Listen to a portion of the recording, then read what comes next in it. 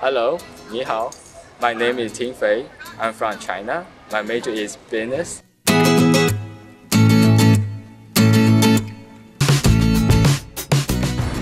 I remember like when I was first year here, my roommate's family invited me to their uh, their house for Thanksgiving. And that times I first time to that was my first time to see American barbecue. Like that's a totally different barbecue when I was in China. American barbecue and it's very cool. They like um, people like to bake some things in the yard and they serve food in the yard. So everything was very fun and very different. They offer the turkey, the barbecue turkey.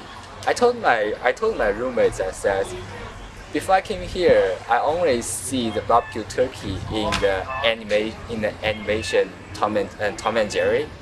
But when I see the real things, I feel feel wow, that's a super interesting. That's the cooking style was totally different from Chinese style. and and then nice I try the first time the pumpkin pie. Super super sweet. but that's what American style. I know that. Uh, but that's even though it's very sweet, but taste is very fresh, very good.